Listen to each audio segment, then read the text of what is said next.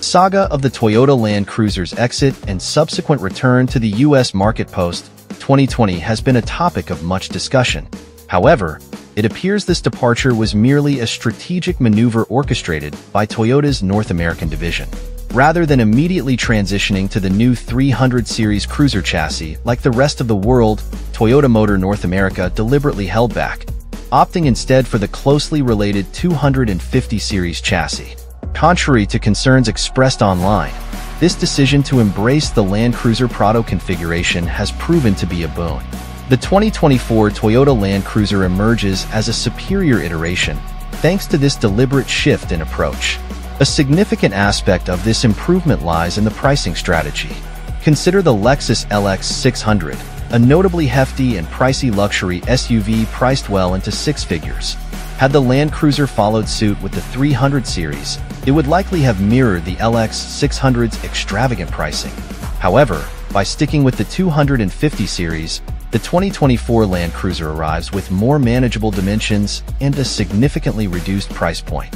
For instance, the base model, named in homage to its North American debut year, starts at a reasonable $57,345. Even the well-appointed volume-selling Land Cruiser grade comes in at a modest $63,345, making it an accessible option for many. For those seeking exclusive features, the limited-time only first edition is available at $76,345. This shift in direction reflects a response to the desires of loyal fans, resulting in a Land Cruiser that is not only more affordable but also more attuned to the needs of its audience. Is it truly recognizable as a Land Cruiser? Absolutely. This assertion holds particularly true when considering that it, along with the LX 600 and Lexus GX, all share the same TNGA-F chassis. And when we say same, we mean precisely that. The Trio boasts identical dimensions, with a wheelbase measuring 112.2 inches. Their suspension setups, comprising control arm fronts and live axles located by four-link and panhard rears, are also identical. Any discrepancies in track widths are minimal, primarily stemming from stylistic and tire clearance considerations rather than fundamental mechanical distinctions. Moreover, all three feature full-time four-wheel drive with a lockable Torsen center differential, seamlessly transitioning from on-road friendly all-wheel drive to off-road ready four-wheel drive at the touch of a button. Essentially, their disparities primarily lie in the powertrains and body designs rather than the underlying chassis.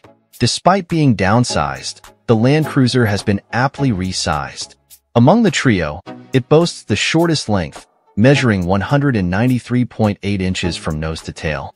This reduced length is largely attributed to a shorter front overhang, resulting in an impressive approach angle of 32 degrees, surpassing the GX's modest 26 degrees.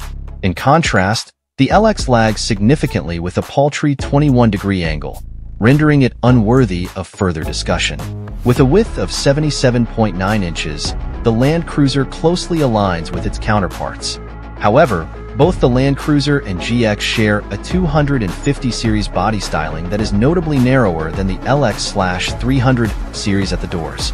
This narrower profile facilitates easier maneuvering in parking lots and garages. Furthermore, their hoods and front fenders are sculpted to enhance forward visibility, while the lower cut door side glass improves the downward view. Coupled with an upright driving position, this design affords occupants a commanding view of both road and trail, with ample headroom inside to accommodate various preferences, including the option to keep a pith helmet on if desired. The Land Cruiser is strictly configured as a two-row, five-passenger vehicle.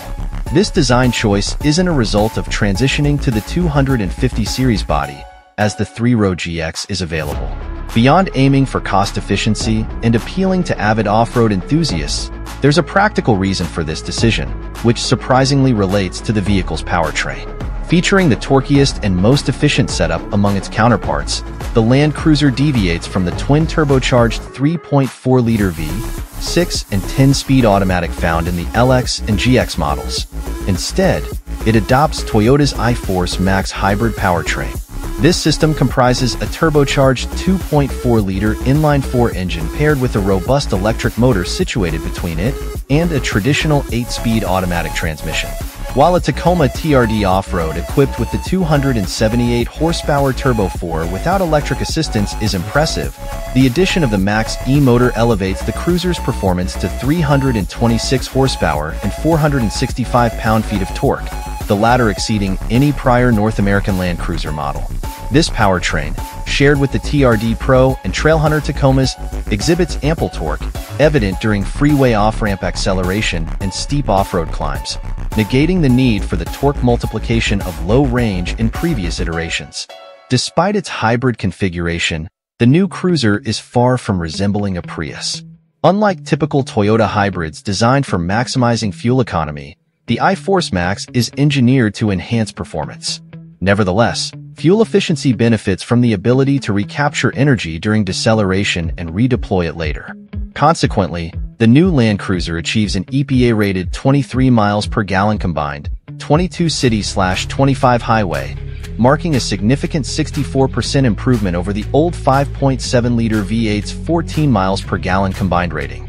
We anticipate the new cruiser falling slightly short of the 6.2 second 0 to 60 miles per hour acceleration time recorded for the GX 550 Given the GX's superior output of 349 horsepower and 479 pound-feet of torque, even though the GX weighs about 100 pounds more. However, these differences in powertrain and other aspects do impact the maximum towing capacity. While the GX, powered solely by internal combustion, can haul nearly 9,100 pounds, the cruiser's hybrid system limits its towing capability to 6,000 pounds. The absence of a third row in the Land Cruiser and the unlikelihood of it being added unless Toyota installs a different engine, is directly related to the placement of the nickel metal hydride battery pack beneath the cargo floor. This positioning raises the load floor, resulting in a slight reduction in cargo space behind the rear seat compared to the GX. Nonetheless, the hybrid system offers a 2,400 watt 120 volt outlet in the rear, surpassing the GX's 400 watt capacity. Furthermore, even the most affordable 1958 model comes equipped with electronically controlled rear differential lock, downhill assist, and crawl control, features only available on the high-end Overtrail version of the GX. Additionally, all cruiser variants come standard with 18-inch wheels and tires boasting substantial sidewall height. The 1958 model sports 245 divided by 70 are minus 18 tires, standing at approximately 32 inches tall, while the Land Cruiser and First Edition grades feature 265 divided by 70 are minus 18 Toyo Open Country at 3 tires, measuring 33 inches tall. While the Land Cruiser grade offers the option of 20-inch wheels, sacrificing sidewall height for $1,240 seems incongruous with the vehicle's character. When comparing to the GX, subtle suspension distinctions cast the Land Cruiser in a favorable perspective, albeit with a discerning eye.